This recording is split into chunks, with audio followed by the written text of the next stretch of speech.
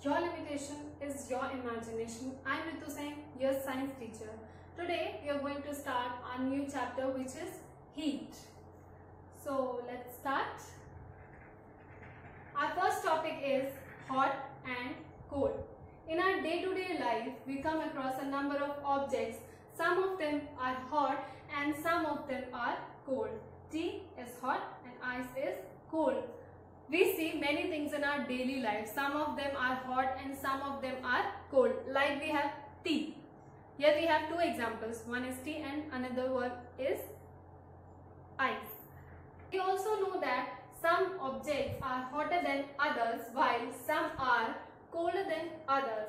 How do we decide which object is hotter than others? We often do it by touching the objects.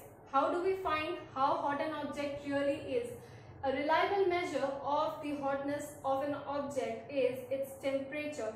Temperature is measured by a device called thermometer. We know that there are two types of things on the basis of heat. Some things are hot whereas some things are cold. But how do we decide it? That which is hot and which is cold.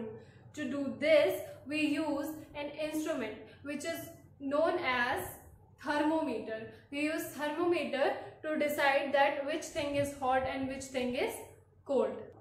See, this is thermometer which is made of glass. It has a scale which is degree Celsius scale. It has a pipe, a kink which is filled with mercury. Okay. It also has a bulb. And this thermometer is called clinical thermometer. This is a digital thermometer. Okay. This is also clinical thermometer but digital clinical thermometer. Okay. So here we have seen two types of thermometer. One is clinical thermometer and one is digital clinical thermometer. These thermometers are used to measure the temperature of a human body or our body temperature. Okay, how do we know that we have fever now? We measure our temperature using this thermometer which we have seen here. Uh, so we get to know that we have fever or we have normal temperature. Okay? Reading a thermometer. First of all, take a thermometer, wash it firmly with water or you can sanitize it. Okay? And after that, give a few jerks.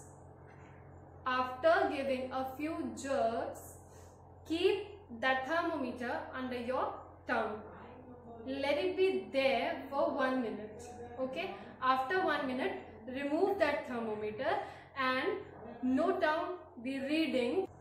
After one minute remove that thermometer from your mouth and note the temperature which is shown on that thermometer okay?